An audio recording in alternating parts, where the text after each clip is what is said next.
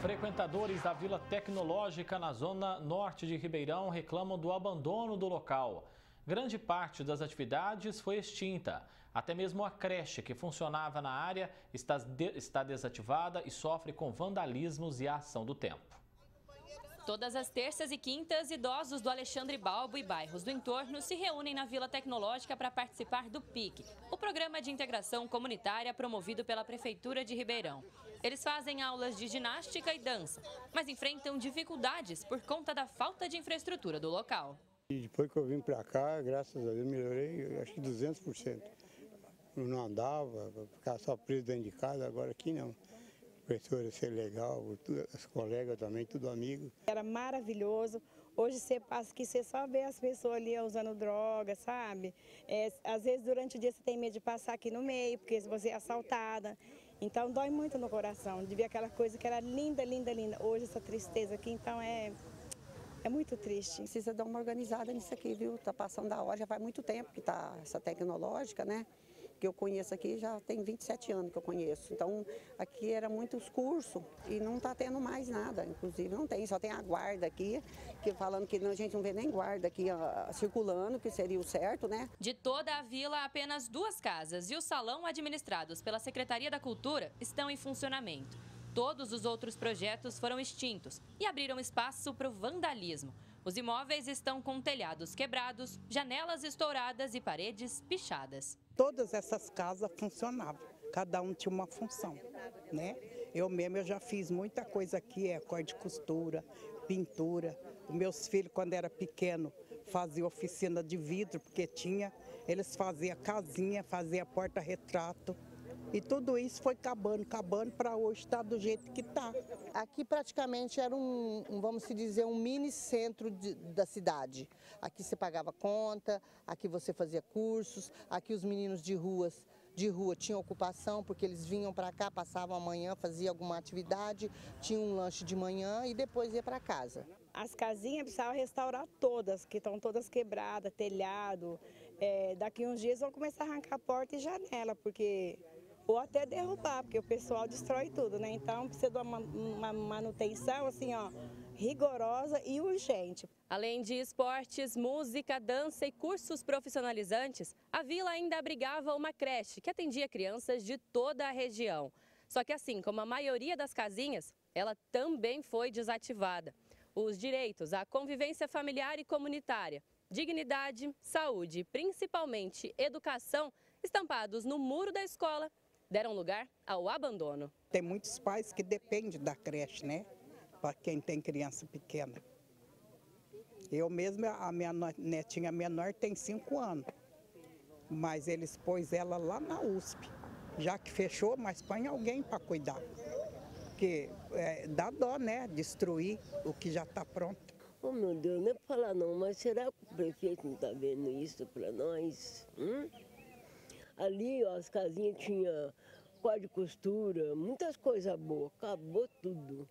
A creche ali fechou, muitas mães que ajudavam, coitada, as mães para ir trabalhar, e está assim, ó, cada vez mais abandonado. Tinha o núcleo que os, os pais também poderiam trazer as crianças, que agora nesse momento deve estar tá aí pelas ruas, faziam atividades, tomavam um lanchinho, ia para casa, pessoas carentes, as casinhas tinham entrega de leite.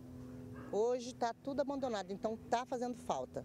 A situação da vila já foi alvo de reclamações diversas vezes no Jornal da Clube. A zeladoria do local também é precária. O mato vive alto. Isso sem contar os furtos de fiação, que deixam a praça completamente escura e prejudicam as poucas aulas que ainda são feitas no espaço. Não tem cobertura ali, ó. faz um ano que tirou aquela cobertura para gente. Se chove, nós não podemos fazer atividades. E, então a gente fica sem atividade quando, quando chove. Tem o salão ali, mas roubou tudo, não tem energia, não tem nada. Então nós não podemos, por exemplo, nós queremos um banheiro, tem que procurar a casa mais, assim, mais próxima para a gente ir ao banheiro, porque nem banheiro nós temos aqui, água nós não temos, então está muito difícil. Prefeito e vereadores e companhia limitada, quando precisa de voto, corre atrás da gente, manda cartinha na casa da gente, enche a nossa caixinha de correio de pedição de voto e não vira nada, quer dizer, promete um monte de coisa e não vira nada. Alice Carvalho para o Jornal da Clube. A Secretaria da Educação informou que o local onde era o Centro de Educação Infantil será reformado e transformado num berçário para até 120 vagas ainda nesse ano. Para falar mais sobre esse assunto, recebemos aqui no nosso núcleo de jornalismo advogado Dr. Luiz Vicente Correia. Doutor, o que esse abandono dos espaços públicos representa aqui em Ribeirão Preto? Uma ótima tarde ao senhor. Muito obrigado, boa tarde a todos que nos ouvem e que nos assistem também. Vejam, não deveria estar aqui falando deste tema, mas e não tem explicação ou justificativa plausível para este abandono, para esta omissão praticada pelo poder público em relação a esta demanda dos munícipes daquela região da cidade, ou por que não dizer de todo o município de Ribeirão Preto que poderia estar utilizando este espaço é um desprezo a uma demanda necessária quando, no momento é, em que todos nós cobramos investimento em saúde, investimento em educação, investimento em questões sociais e também de lazer. Triste e lamentável esta, essa desídia praticada pelo, pela Prefeitura Municipal. Doutor, nós temos visto aí que o poder público tem apostado, gastado em obras milionárias, porém tem deixado de lado locais como esses aí, ou como esse aí que nós mostramos na reportagem. É um, é um fato que, claro, chama bastante atenção. Veja só, o, as grandes obras muitas vezes são necessárias, porém, não se pode esquecer daquilo que é também a reivindicação é, dos munícipes nas questões de interesse, digamos, não menores, mas que referem ao lazer, ao entretenimento, que isto também faz parte da saúde das pessoas. Este abandono, esse desprezo, esse descaso para com esse tipo de reivindicação é desanimador, mas as grandes obras, elas dão maior visibilidade ao administrador público, ao prefeito municipal, e mas isso não pode é, ele não pode viver apenas de grandes obras. As obras de interesse comunitário também devem ser prestigiadas ao mesmo tempo em que as grandes obras quando necessárias. Doutor, qual é o papel dos moradores, da sociedade, principalmente ali do entorno né, dessa vila tecnológica, para brigar aí realmente por esse espaço? É fazer com o que eles fizeram, buscando a imprensa que dá todo o apoio, conforme a TV Clube sempre fez aqui no município de Ribeirão Preto, dando apoio para estas reivindicações, a esse tipo de protesto, para que os nossos representantes eh, possam também auxiliar na cobrança do Executivo Municipal no atendimento destas necessidades. Cobrança que deve também, doutor, é sempre bom a gente falar isso, passa também pela Casa de Leis. Não tem a menor dúvida, a Câmara Municipal deveria ser a maior defensora desse tipo de reivindicação. Se não é a imprensa denunciar, a Câmara muitas vezes ela se omite, ela esquece e nas sessões camaristas elas jamais com, fazem comentários deste fato.